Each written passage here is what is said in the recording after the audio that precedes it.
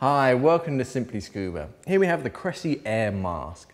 This is a nice low volume mask, plenty of vision. Your lenses are much closer to your face so you get a wider field of vision and it's just expertly made, very low volume and, um, and uh, it's got sort of good looks to it as well. So it has a very minimal frame. So the frame itself is very, very small. It, uh, it holds the shape of the mask when you're going under the water as you descend, and it holds the lenses onto the skirt. The skirt itself is very, very small and, uh, and low volume, which holds most of the, uh, the frame of the mask very close to your face, which means that you don't have to equalize your mask quite as often.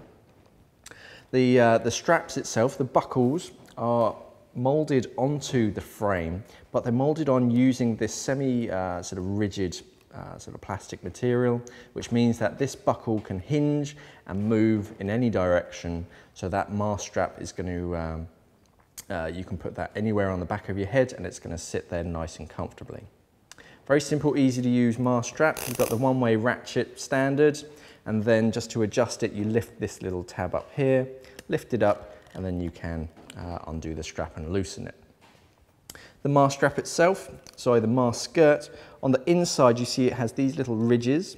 So these ridges hold the shape of the mask. Because the, uh, the skirt itself is much, much thinner, it um, holds the shape of the mask so it's not going to change shape and distort when you're in the water as you descend, but it still um, it remains as thin and, uh, and rigid as a traditional skirt. You have a double skirt design, so on the inside you have this second skirt.